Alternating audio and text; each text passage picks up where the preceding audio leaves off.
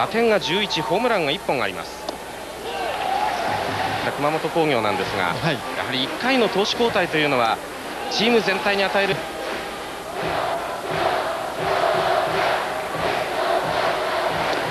ランナースタートしているダブルスチール。三塁は神宮球場で打っています。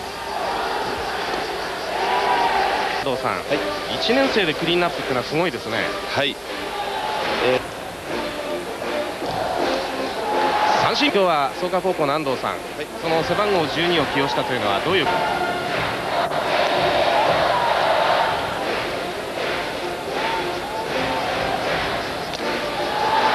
ランナー二塁と背負ったところでマウンドをリリーフしました坂田です。藤田さん、はい、テンポもいいですね。そうですね。非常にこうリズムのあるピッチャーですね。はい。ああ自信何かこう終始体を小刻みに動かしているという感じです。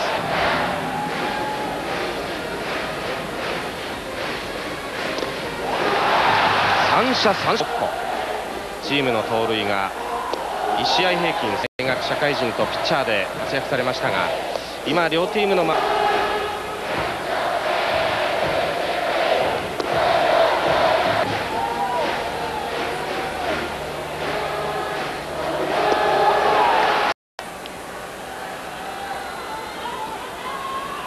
このアウトさ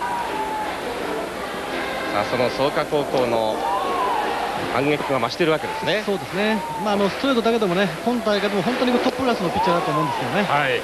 ですが今日はその市村は1回でこの今マウンドにいる背番号1坂田にマウンドを譲っています。市村ちょっと寂しそうな表情ですが、先ほど守りでは大きな声。